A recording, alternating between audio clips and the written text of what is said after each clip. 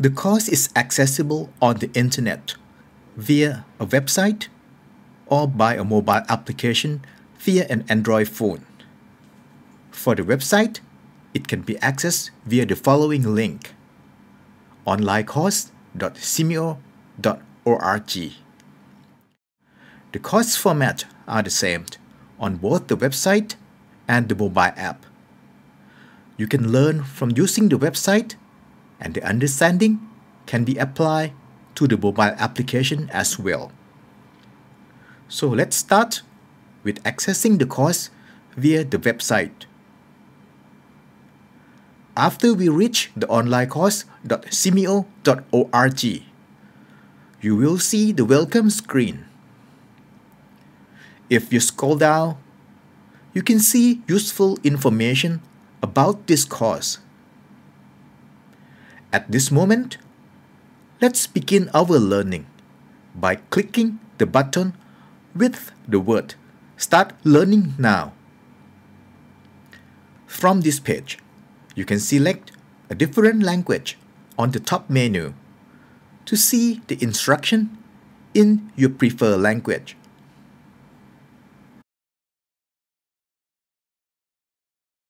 Let's use English for this particular demonstration. For the first-time learner who hasn't had an account to access this online course, you can click the red button with the word Create New Account.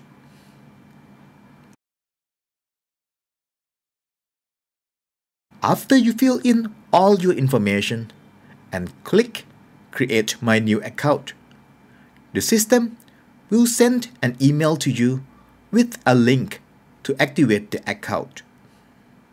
Just open the email that you typed in earlier, see the message, and click the provided link. After you have successfully activated the account, you will be brought to your dashboard page. This page contains an information about courses that you have enrolled. Since we haven't enrolled in any course, the information in this page is still empty. Let's click the course menu on the top of the page and select all course. We can see a list of all available courses we can enroll. Here, we can see our DTeEm course in different languages. Vietnamese, Thai, Laotian, Indonesian, English, Tetun, Cambodian, as well as Songkha. Let's click on an English one.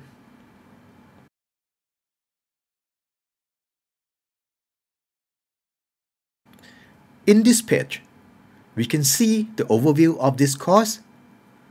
For instance, it contains an introduction, a pre-course survey, an introductory module, the four modules of study. We also have the post-course evaluation. And after you finish all the module, you can acquire a certificate of completion.